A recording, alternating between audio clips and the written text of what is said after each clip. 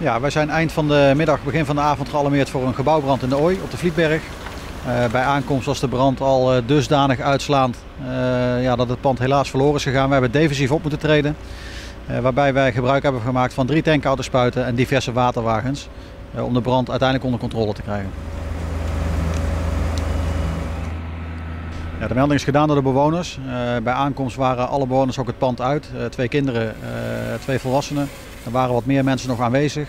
Uh, ook de hond die in het pand aanwezig is, uh, die is uiteindelijk op tijd uit het pand gegaan.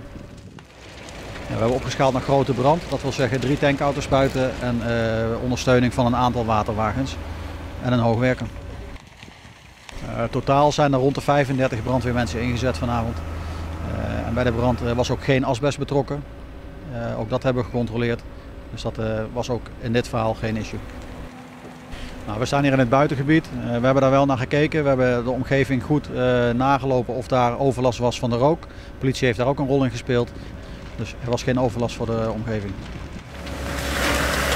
Uh, ik denk dat wij op dit moment nog een uur nodig hebben om na te blussen. Dus dat wij hier rond een uurtje of tien vanavond zullen vertrekken. En de gemeente zal het pand dan afzetten met hekken. en een aannemer zal het pand in elkaar drukken zodat het ook niet meer kan instorten.